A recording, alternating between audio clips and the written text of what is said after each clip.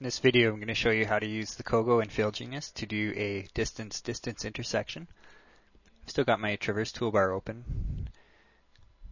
So we want to pick the method of distance-distance. And I think this is going to be a little bit cut off on the video, but it says method distance-distance. You can see here.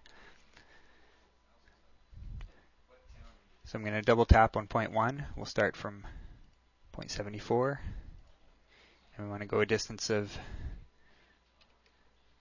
40 feet. So we see here it's showing us the radius of 40 feet around point 0.74. I'm picking the second point here, point 0.52. And with this one we want to go a distance of 15 feet. We again see the radius around that. And with uh, the with the distance-distance intersection, we always get two solve points calculated, one for each intersection. You can see this one is is point A and this one's point B. You can of course use your your zoom tools if uh, your drawing is a little more crowded.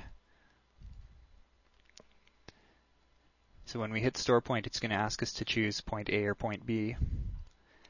In this case, I'm interested in point B. And it asks you for the point number and description. I'll just keep those and we'll store it.